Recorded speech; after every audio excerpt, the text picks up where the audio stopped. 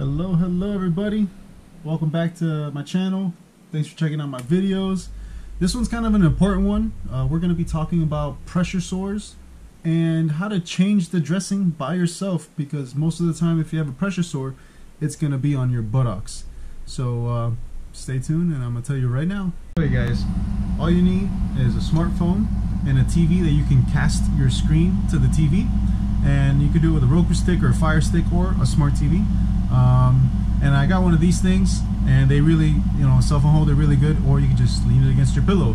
But be careful with leaning against your pillow because sometimes it falls over, and you don't really want to be touching your pillow, your your your your, your phone, and then doing your dressing change on stuff unless you have like hand sanitizer close by, which I recommend. But so need cell phone, smartphone, smart TV, or TV you can cast to in one of these, and you're doing your own dressing changes all day, every day gotta make this a little bit fast too because I turned off my air conditioning and my fan so I can have like no background noise really. And um, so yeah. So I'm gonna get out of here. I have to get out of the GoPro app. And I'm just gonna go and I'm gonna screencast straight away. I start just screencasting. You know? Okay here we go. Okay so I just connected. Now I'm gonna point this to my TV so you guys can see this showing everything on my TV and then I go to camera. Actually? As you can see, I'm looking at the TV, and then I go to the camera after I start screencasting, and then I go to record. And you want to make sure that the flash is on. You want to make sure you have enough battery that you could have your flash on for like at least 15 minutes, because it's going to take that long for you to learn how to do it efficiently. And then you just point it at your bottom, you know. Let's see if I get the camera a little bit better. Pointing at it see better. There we go, that's good enough.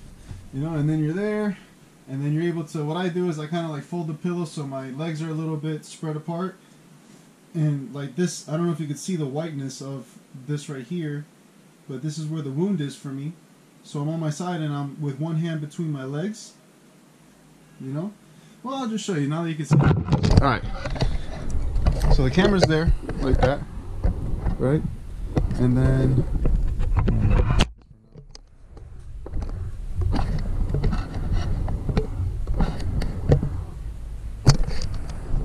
Ah, but anyways, I'm like this. One hand's here, like this, in between my legs, and the other hand's on the top, doing the business.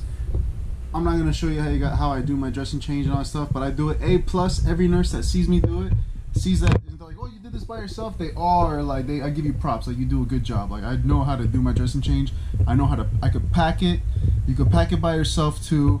Like this helps you out so much, especially like when you're doing wound care. Because what I do is I have a nurse that comes here every day and changes it for me once a day. But then when I go to sleep, I change it again, just to have a fresh, clean packing throughout the night that I'm sleeping, and it's not dry. I mean, it's not wet, and it has a fresh, dry gauze to keep it like you know at a good temperature, at a good you know moisture level. So yeah, you guys, this is uh, this is the way to you know just do your own pressure uh, pressure sore dressings just dressing changes. I mean, unless it's like you need a lot of packing and you need to be on your stomach because the hole is so big that the packing is going to come out, then maybe that's a different story. And then you need somebody to do it for you always then. And then once it starts getting so you don't need the packing and all you need to be doing is, is, is dressing it, like just covering it up with some gauze and some tape, this is the way to do it. You guys, you're not going to need to be paying for a home nurse or you're not going to need to be waiting for a home nurse or anything like that. You could just do it by yourself. So I'm hope I'm hoping I'm pretty sure this is gonna help some people out because I already had some people asking me because they heard me talk about this. Like, hey, how do you do your own dressing changes? And I'm finally making the video. So thanks for watching me, guys. Thanks for supporting me. I'm trying to like you know I'm wearing a T-shirt. You know, trying to like make it a little bit better for all audiences and stuff like that, a little more information.